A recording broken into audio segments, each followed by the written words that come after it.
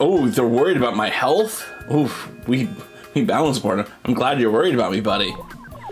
I will focus on the long-term goal of keeping my health instead of pushing myself too hard, and I have not been pushing myself too hard. I had popcorn today at lunch. Let's set a new goal and deadline for you. I may be obese.